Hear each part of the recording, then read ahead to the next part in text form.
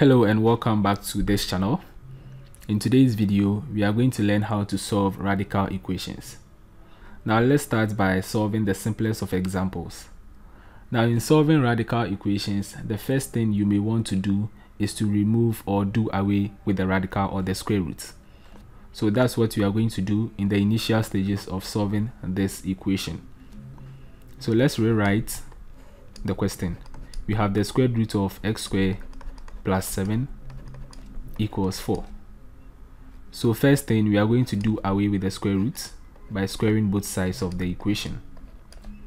So the square cancels the square root and then we have x squared plus 7 is equal to 4 squared is equal to 16.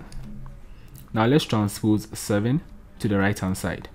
So this becomes x squared equals 16 minus 7 16 minus 7 is equal to 9. So to find x, we are going to take the square root of both sides. And then we have x equals plus or minus 3. So x is equal to 3 and x is equal to negative 3. Now after finding the values of x, we need to check if all the solutions satisfy the original equation or we have extraneous solutions in there. Now extraneous solutions are solutions that emerges from the process of solving the problem. However, they are not valid solutions to the problem. They are not valid solutions to the problem because after substituting those values into the original equation, you are going to realize that they do not satisfy the original equation. So extraneous solutions, they are solutions that emerges as you solve the problem, but they are not valid solutions to the equation because after substituting those values into the original equation, they do not satisfy the original equation. So let's check for the two values x is equal to 3 and then x is equal to negative 3. So when x when x is equal to 3, we are going to substitute 3 into the original equation. We have 3 squared plus 7 equals 4. 3 squared is 9, so 9 plus 7 equals 4 9 plus 7 is 16 and the square root of 16 is 4 so since 4 is equal to 4 x is equal to 3 is a solution. Now let's test for when x is equal to negative 3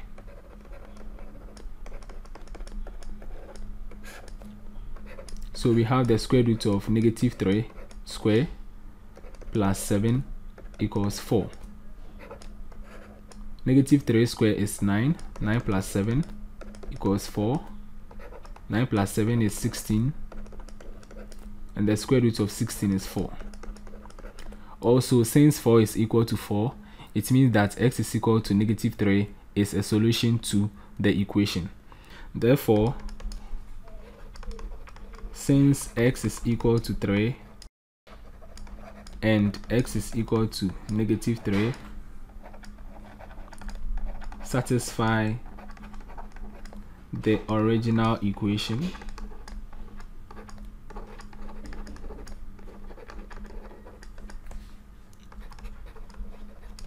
They are solutions to the equation So since x is equal to 3 and then x is equal to negative 3 satisfy the original equation, then they are solutions to the equation.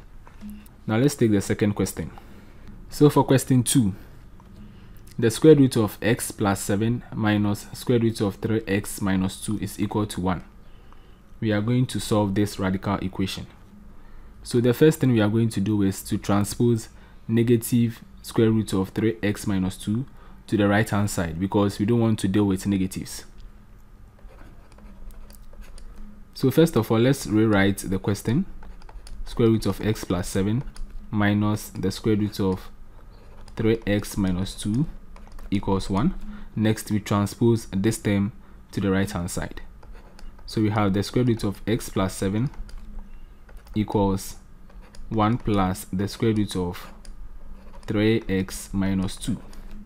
Now let's square both sides of the equation to remove the square root.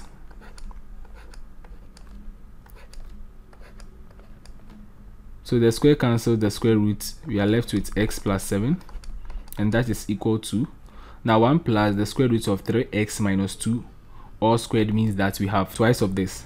So we are going to multiply 1 by itself that is 1 times 1 is 1 plus 1 times the square root of 3x minus 2 it still remains as the square root of 3x minus 2 and then the next step we are going to multiply square root of 3x minus 2 times 1 so when you add the 2 you have 2 times of the square root of 3x minus 2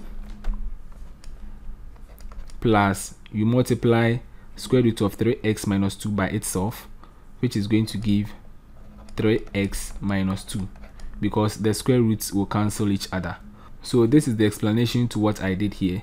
We have 1 plus the square root of 3x minus 2 times 1 plus the square root of 3x minus 2 so 1 times 1 is 1 1 times the square root of 3x minus 2 is square root of 3x minus 2 square root of 3x minus 2 times 1 is square root of 3x minus 2 and then square root of 3x minus 2 times square root of 3x minus 2 means that the square root will go away so that we have 3x minus 2 so when you add these two you have 1 plus 2 times the square root of 3x minus 2 plus 3x minus 2 so this is what I did here.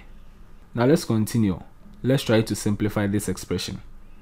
We have x plus 7 equals 1 minus negative 2 is negative 1 so we have negative 1 plus 3x plus 2 root 3x minus 2 let's transpose negative 1 plus 3x to the left hand side. So x minus 3x plus 7 plus 1 equals 2 times the square root of 3x minus 2 this becomes negative 2x plus 8 equals 2 times the square root of 3x minus 2 now 2 is common to both terms so we can divide through by 2 so when we divide through by 2 we have negative x plus 4 equals square root of 3x minus 2 because we still have a square root let's square both sides of the equation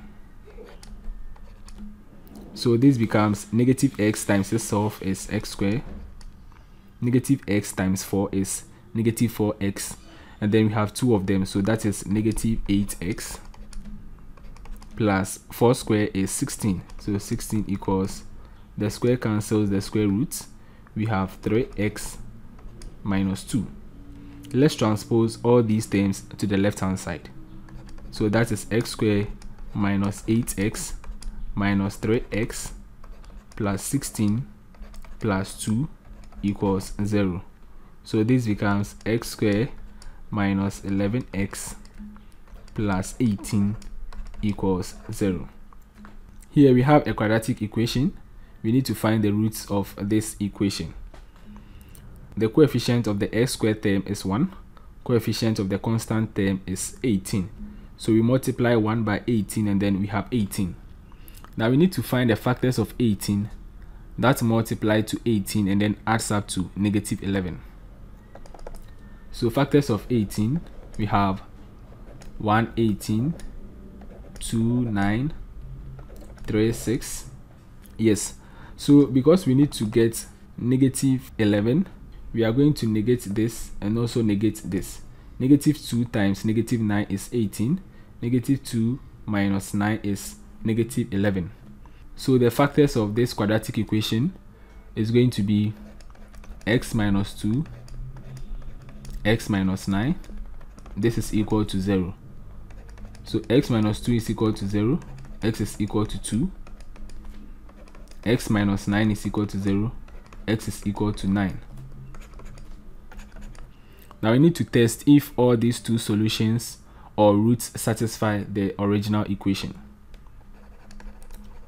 So when x is equal to 2, we are going to substitute 2 into the original equation. We have 2 plus 7 minus 3 times 2 minus 2 equals 1. 2 plus 7 is 9. We have square root of 9 minus 3 times 2 is 6 minus 2 is 4. Square root of 9 is 3. Square root of 4 is 2. And then 3 minus 2 is 1. So since 1 is equal to 1, then x is equal to 2 is a solution to the original equation. Now let's test for when x is equal to 9. So we have square root of 9 plus 7 minus square root of 3 times 9 minus 2 equals 1. 9 plus 7 is 16. 3 times 9 is 27 minus 2 is 25. Square root of 16 is 4. Square root of 25 is 5. 4 minus 5 is negative 1. And since negative 1 is not equal to 1, it follows that x is equal to 9 is not a solution to the original equation. Therefore, since x is equal to 2, satisfy the original equation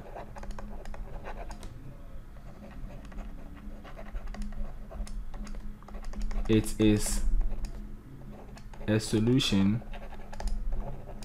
to the equation. Since x is equal to 2 satisfy the original equation, it is a solution to the equation.